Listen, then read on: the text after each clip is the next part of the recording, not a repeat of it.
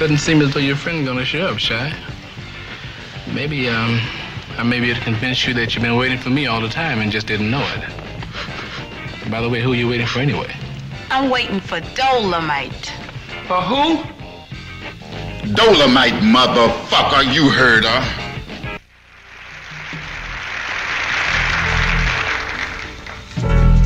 Way down in the jungle deep. The lion stepped on the signifying monkey's feet. The monkey said, motherfucker, can't you see? You're standing on my goddamn feet. The monkey lived in the jungle in an old oak tree. Bulls shitting a lion every day in the week. Every day before the sun go down, that lion would kick his ass all through the jungle top. But the monkey got wise and started using his wit. Started saying, I'm gonna put a stop to this old ass kicking shit. So he ran up on the lion the very next day. He said, Oh, Mr. Lion, there's a big bad motherfucker coming your way. And he's somebody that you don't know. He just broke a loose from Ringling Brothers Show. Said he talked about your people in a hell of a way. He talked about your people till my hair turned gray.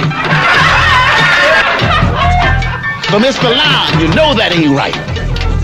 So whenever you run up on the elephant, I want you to be ready to fight. The lion jumped up in a hell of a rage, a young man smoking some gauge. He ran up on the elephant talking to the swine. He said, all right, you big bad motherfucker, it's gonna be your ass or mine. The lion jumped up and made a fancy pass, but the elephant sidestepped him and knocked him dead on his ass. He fucked up his jaw, messed up his face, broke all four legs and knocked his ass out of place. They fought all night and all the next day.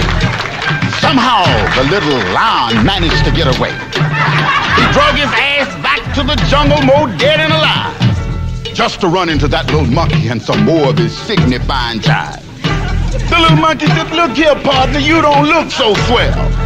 Look like to me you caught a whole lot of hell. Said your eyes is red and your ass is blue. Said I knew in the first place it wasn't shit to you.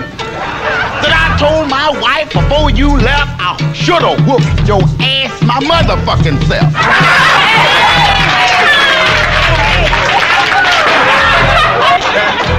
Shut up. Don't you roar, cause I'll jump out of this tree and whoop your dog ass some more.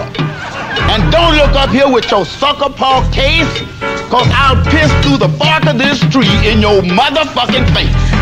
The little monkey got happy started jumping up in his down. His feet missed the limb and his ass hit the ground. Like a ball of lightning and a streak of white heat. That lion was on his ass with all four feet. Dust rose and tears came in the little monkey's eyes. Nothing he could see and nothing he could hear.